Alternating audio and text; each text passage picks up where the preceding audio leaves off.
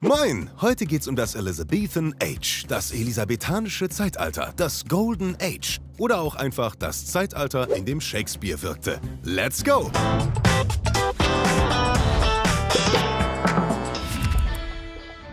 Na gut, ihr Landratten, fangen wir erstmal mit den Grundlagen an. Das elisabethanische Zeitalter war zwischen 1558 und 1603, genau zu der Zeit, als Elisabeth I.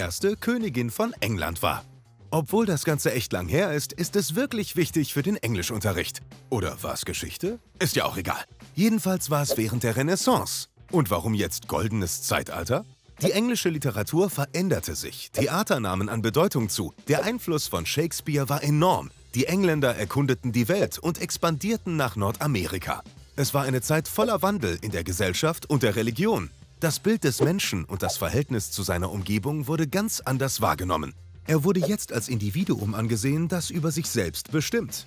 Wahrscheinlich kennt ihr das heliozentrische Planetensystem.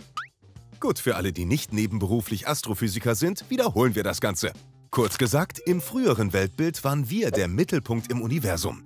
Irgendwann ist es dann die Sonne geworden, um die sich alles dreht. Danke an Kopernikus, der das bewiesen hat. Zurück zum Thema. Durch Kopernikus, religiöse Wandlungen und den Humanismus haben sich die Leute Gedanken zur eigenen Position im Universum gemacht. Die Rolle des Menschen wurde quasi neu definiert. Fassen wir mal kurz zusammen. Das elisabethanische Zeitalter war die Zeit, in der Shakespeare wirkte. Die Zeit war geprägt von gesellschaftlichem und religiösem Wandel. Es war das Zeitalter der Entdeckungen und der Expansion. Der Mensch wurde als Individuum angesehen und es existierte ein heliozentrisches Weltbild.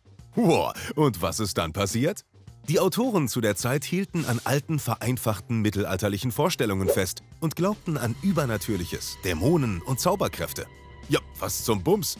Naja, in einer Zeit voller neuer Einflüsse konnte man sich zumindest in diesem Punkt an etwas Altem, Vertrautem festhalten. Diese hierarchische Ordnung nennt man auch die Great Chain of Being. Was das ist, erfahrt ihr jetzt. Diese Chain ist eigentlich wie eine Pyramide aufgebaut.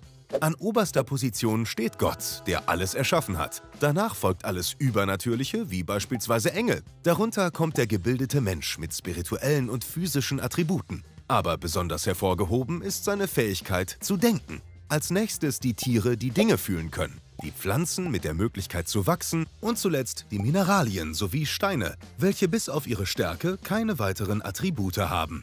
Diese Ordnung gab den Menschen Sicherheit durch einen fest zugewiesenen Rang im Leben. Wenn eines dieser Elemente ausbrechen würde, würde Chaos herrschen. Auch wenn es sich heutzutage komisch anhört, war es damals eine stark geordnete Welt.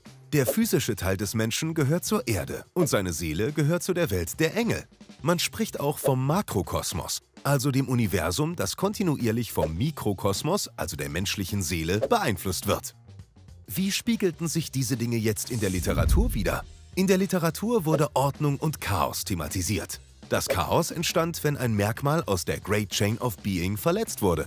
Besonders in Shakespeares Werk Macbeth finden wir ein solches Chaos. Nach der Ermordung des Königs gab es Chaos in der Natur. Das ist nur eins von vielen Beispielen in der Literatur. Fassen wir einmal alles zusammen. Als elisabethanisches Zeitalter wird die Zeit bezeichnet, in der Königin Elisabeth I. regiert hat. Diese Zeit war besonders für den Wandel in der Gesellschaft und Religion bekannt. Der Mensch wurde als Individuum betrachtet und es galt das heliozentrische Weltbild. Die Autoren waren dennoch von der mittelalterlichen Auffassung geprägt und als hierarchische Ordnung gab es die Great Chain of Being. Sie beschreibt pyramidenartig eine Rangordnung von der höchsten Position Gott bis runter zur untersten Stufe der Steine. Der Mensch steht im Zusammenspiel von Makro- und Mikrokosmos, denn beide Seiten beeinflussen sich. Die Literatur befasste sich mit der Ordnung und dem Chaos, das entstehen würde, wenn etwas aus der Great Chain of Being ausbricht. Das Wichtigste für gute Noten ist üben, üben, üben.